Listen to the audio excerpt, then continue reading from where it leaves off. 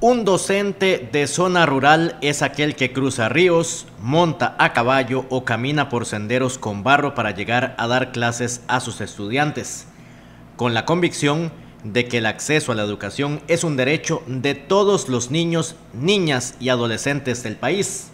Así lo expresó el vicepresidente de la República, Marvin Rodríguez, durante el acto de entrega oficial del Premio Nacional Mauro Fernández 2019 al maestro Saúl Porras Mejías. El reconocimiento entregado este martes en Casa Presidencial por el vicepresidente y la ministra de Educación Giselle Cruz hace honor a la extensa carrera docente de don Saúl, un maestro rural que por casi 30 años ha dejado una importante huella en sus estudiantes, en las comunidades como Buenos Aires de Punta Arenas, Pérez Celedón y Grande de Térraba.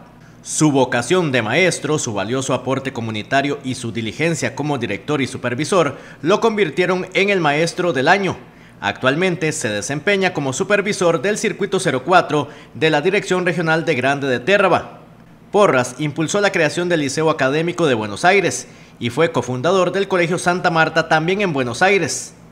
Este hombre ganó una medalla de oro, una remuneración económica y un año sabático para que pueda continuar apoyando a su comunidad con su labor social. El jurado fue conformado por representantes del Ministerio de Educación Pública, el Magisterio y la Asamblea Legislativa, quienes analizaron los atestados que presentaron las direcciones regionales de educación y efectuaron las deliberaciones acerca de los merecimientos de cada una de las personas.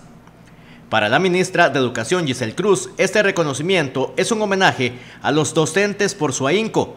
El ganador del galardón creó proyectos como Tendiendo la mano a los más necesitados, Manos a la obra y Cero contaminación, con los cuales brindó apoyo con sus estudiantes a las poblaciones más vulnerables y necesitadas y fomentó la educación ambiental.